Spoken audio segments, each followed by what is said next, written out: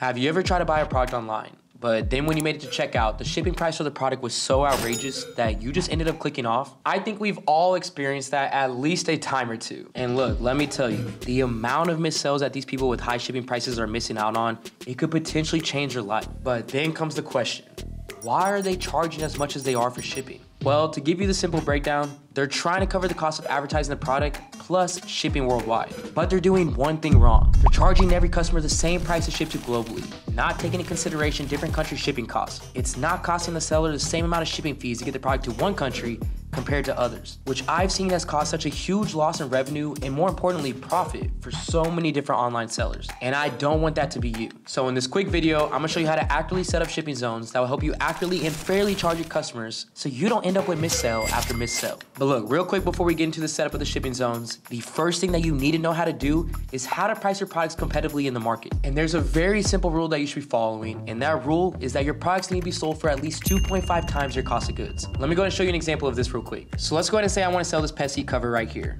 You can see that the price of the product is $26.54 and the shipping is currently free to ship to the United States. So with that information, you should take that $26.54 and then multiply it by 2.5 which is gonna give you a total of $66.35. So what that magic number is telling you is that as long as you're pricing your product for at least $66.35 and you are gonna be shipping to the United States, which is free from the supplier, then ultimately, without affecting your margins, you do not need to be charging shipping to your customers in the United States. Now, let's say that we go ahead and change the shipping destination to somewhere in South America or somewhere else in the world. You're most likely gonna see that the shipping rates from your supplier increases from free to anywhere between 3 and $10. Now, even with the shipping price increasing, it should not deter you away from wanting to sell globally. You just now need to make sure that the shipping reflects what needs to be charged for those locations outside of the United States and reflected on your Shopify store. Let me go ahead and show you how you're gonna do that. On Shopify, you wanna come down over here and click on settings. Next, you wanna come to shipping and delivery. Next, you wanna go ahead and click on general shipping rates. And when you do click on this, it's going to apply this to every single product. And now look, there's gonna be different products that you wanna charge different shipping to.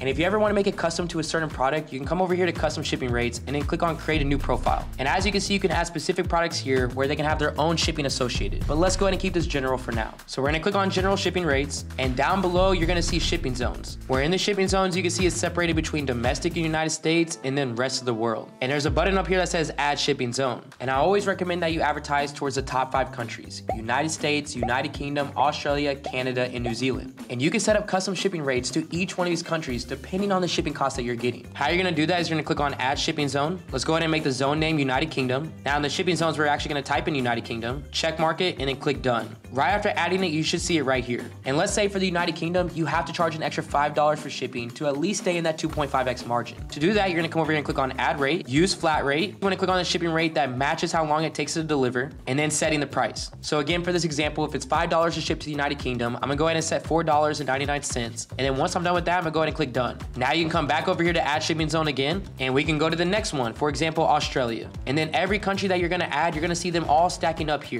Now let's say that you wanna get free shipping to the United States. What you're gonna do is you're gonna come over here and click on domestic, United States, and click add rate. And if I wanna offer free shipping to the United States, I'm just simply gonna leave this as $0 and then go ahead and click on done. And now you see I'm offering free shipping to the United States, $5 for shipping to United Kingdom, $4 to Australia, and so on and so forth for exactly how you wanna set it up. Now there's one more trick that I wanna show you if you wanna incentivize the customer to buy more on your store. So for that seat cover earlier, like I told you, it was $66. And let's say that you want people to buy more than two. You can actually set up custom shipping where you can say to the user, anyone who spends over $70 will get free shipping. Basically playing the psychology in the user's mind that if I go buy more, I will save more. Let me go ahead and show you how to set that up too. So let's do it for United States, for example. We're gonna come over here and click on add rate. We're then gonna come down over here and click on add conditional pricing and then based off of order price. I can come back into the free shipping one that I already set up, click on these three dots and click edit rate. I can name the custom rate name under $70 and let's say I'm gonna charge $5 for shipping.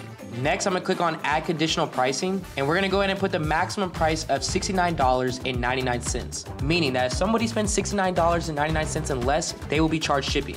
Once I'm done with this, I can click done. Then I'm gonna come back and click on add rate again. I'm gonna make the price free, add conditional pricing again, based off of order price, and then make the minimum price $70. So now what I have set up is if the customer comes in and only buys one item for under $69.99, they will be charged shipping.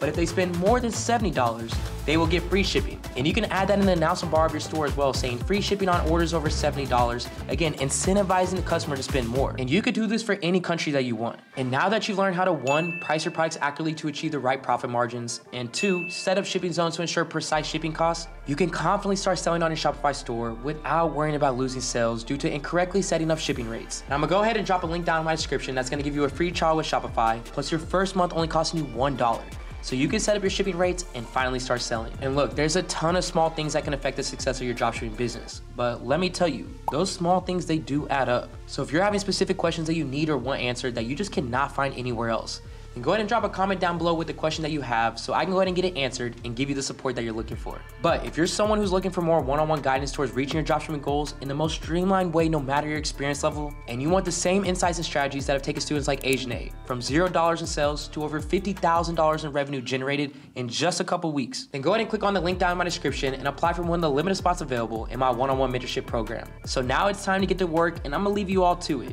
This is AC with Supreme Ecom and I'm out.